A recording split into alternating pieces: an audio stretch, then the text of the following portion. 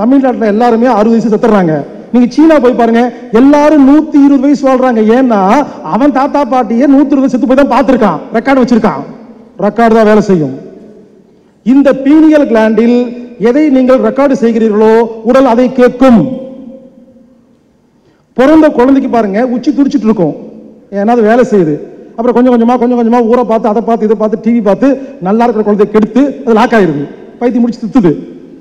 அதுக்கப்புறம் மறுபடியும் குழந்தையா மாறதுக்கு ஆசிரமத்துக்கு வருது. நல்லா தான் இருந்துச்சு முதல்ல. புரிஞ்சுக்குங்க.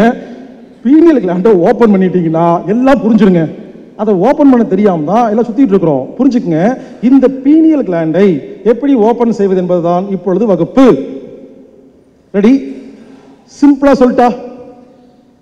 யார் ஒருவர் பாசிட்டிவாக இருக்கிறீர்களோ அது வேலை செய்யும். யார் ஒருவர் நெகட்டிவாக இருக்கிறீர்களோ அது ஆஃப் ஆயிடும் அவ்வளவுதாங்க. சிம்பிள் பல பேர்த்துக்கு பல பேத்துக்கு பாசிட்டிவ் நெகட்டிவ்க்கு வித்தியாசம் தெரியல. அதை வேணால் சொல்லி கொடுக்குறேன். இரண்டு மாணவர்கள் ஒரு சாமி கிட்ட போய் வேண்டிக்கிறாங்க.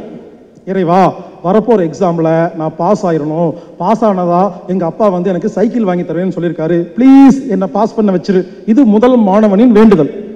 இரண்டாவது மாணவன் அதே சாமிகிட்ட போய் இறைவா வரப்போற எக்ஸாம்பிள் நான் ஃபெயில் ஆயிடக்கூடாது. ஒருவேளை ஃபெயில் ஆனால் மானமரவாதி எல்லாம் போயிடும். எங்க அப்பா சைக்கிள் வாங்கி தர மாட்டாரு என்ன ஃபெயில் ஆகாம பார்த்துக்கோ. இது ரெண்டாவது மாணவனின் வேண்டுதல்.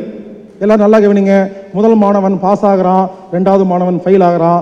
ஏன்னா முதல் மாணவன் பாசிட்டிவ் ரெண்டாவது மாணவன் நெகட்டிவ் அதாவது பாஸ் ஆகணும் பாஸ் ஆகணும் பாஸ் ஆகணும்னு யாரெல்லாம் நினைக்கிறீங்களோ பீனியர் கிளாண்ட் பாஸை விதையாக மாற்றி மரமாக முளைக்கிறது.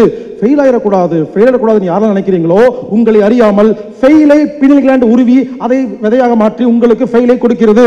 இதுதான் பாசிட்டிவ் இதுதான் நெகட்டிவ் புரிஞ்சுக்கங்க. இந்த பீனியல் கிளாண்டுக்கு நல்லது கெட்டது தெரியாது. மண்ணுக்கு நல்லது கெட்டது தெரியாது. பீனியல் கிளாண்டும் மண்ணும் ஒண்ணு. மண்ணில் கஞ்சா விதைத்தால் கஞ்சா முளைக்கும். நெல் விதைச்சா அரிசி முளைக்கும். எந்த மண்ணாவது கஞ்சா விளைவிக்கும் போது ஹலோ நான் விளைய மாட்டேன் எடுத்துட்டு பா. இது கெட்டது அப்படி சொல்லலாம் சொல்லாது. அதுக்கு தெரியாது. எதை விதைக்கிறோமோ நல்லதோ கெட்டதோ அது முளைக்குதா இல்லையா? மண்ணுடைய வேலை என்ன? எதை விதைக்கிறீங்களோ அதை முளைக்கிறதா வேலை. நல்லது கெட்டது தெரியாது. அதே போல் இந்த பீனியல் கிளாண்டுக்கு நல்லது கெட்டது தெரியாது. நீங்கள் எதை விதைக்கிறீர்களோ அது உங்களுக்கு மரமாக கொடுத்தே தீரும். உங்கள் வாழ்க்கையில் வந்த அனைத்து வியாதிகளுக்கும் அனைத்து துன்பத்துக்கும் காரணம் வேற யாருமே இல்ல. நீங்க விதைச்சதுதான். பாசிட்டிவ் நெகட்டிவ்க்கு இன்னொரு வித்தியாசம் சொல்றேன்.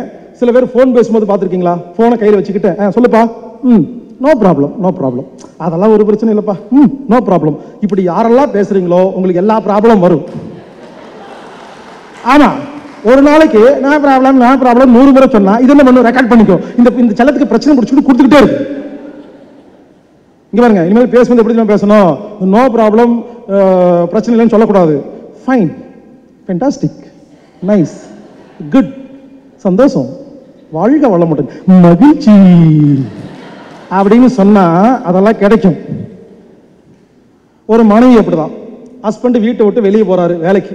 இந்த மனைவி சும்மா இல்லாமல் ஏங்க நான் ஒரு பொருள் சொன்னேன்ல நைட்டு வரும் பொழுது மறக்காமல் வாங்கிட்டு வந்துருங்க. அவர் மறந்துட்டு தான் வருவார். எல்லா புருஷனும் பொண்டாட்டி சொல்கிறது ஏன் தெரியுமா மறக்கிறோம்? நீங்க சொல்றதே சரியில்லை. நீங்க போகும்போது மறக்காம வாங்கிட்டு வந்துருங்கன்னா மறக்காம வாங்கிட்டு வான்னா என்ன வினை இருக்குதுல மறத்தல். இனிமேல் மனைவிகளை நீங்கள் ஹஸ்பண்ட்டை சொல்லும் பொழுது எங்க நைட்டு வரும் பொழுது நான் ஒரு பொருள் சொன்னேன்ல ஞாபகமாக வாங்கிட்டு வாங்கன்னு சொல்லுங்க. நாங்கள்லாம் வாங்கிட்டு வருவோம். இதான் பாசிட்டிவ் ஒரு மனைவி அப்படிதான். ஒருபடி மேலே போய் ஹஸ்பண்ட் கிட்ட போய் ஏங்க என்னை மறந்துடுவீங்களா? அவர் மறந்துட்டாராமா? எதுக்கு தேவையில்லாமல் நல்ல ஐடியாலாம் எங்களுக்கு கொடுக்குறீங்க? ஸோ ஒரு ஹஸ்பண்ட்டை போய் மறந்துடுவீங்களான்னு கேட்டால் கேள்வியே நெகட்டிவ் அப்போ மறத்தல் அப்படிங்கிற வினை வேலை செய்யுமா இல்லையா? அப்போ எப்படி கேட்கணும்? என்னை எப்பொழுதுமே ஞாபகம் வச்சுக்குவீங்களா? இது பாசிட்டிவ் இதாவது பரவாயில்லைங்க. இன்னொரு மனைவி ஹஸ்பண்ட் போய் ஏங்க என்னை விட்டு ஓடி கீடு போயிட மாட்டீங்களே?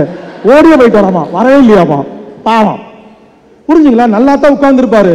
ஓ ஓடி போகணும் அப்போ ஞாபகப்படுத்துவார். கற்பனை பண்ணுவார் ரெக்கார்ட் ஆகிடும் புரிஞ்சுக்குங்க. பாசிட்டிவ் நெகட்டிவ் இதுக்கு எப்பொழுது வித்தியாசம் தெரிகிறதோ உங்களை நீங்கள் காப்பாற்றிக் கொள்ளலாம்.